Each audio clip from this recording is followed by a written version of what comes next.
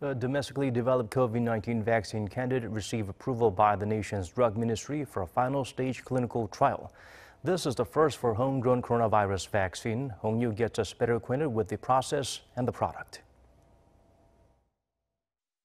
A COVID-19 vaccine candidate developed by SK Bioscience has been approved by the Ministry of Food and Drug Safety for a phase 3 clinical trial, the first for a domestically developed vaccine.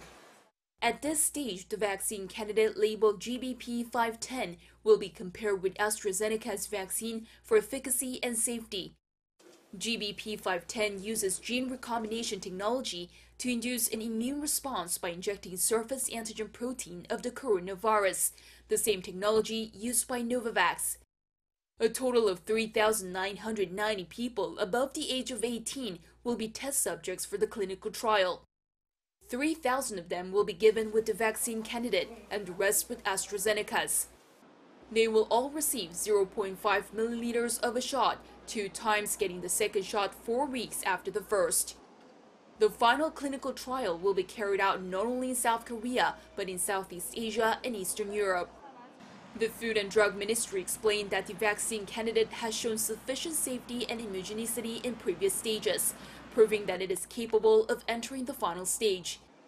In stage 1, all eight adult subjects inoculated formed neutralizing antibodies. In terms of safety, no particular side effects were noted aside from tiredness and muscle pain.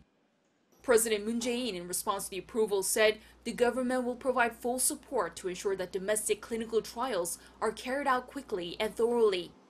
He has previously emphasized the importance of securing vaccine sovereignty. The Blue House spokesperson said that the president hopes South Korea is able to bring a domestic vaccine to the market. In a meeting with his top aides on Monday, Moon said that they will speed up the development of domestic vaccines and concentrate all state capacity in building a global hub so as not to be deterred by overseas firms. Hong Yoo, Arirang News.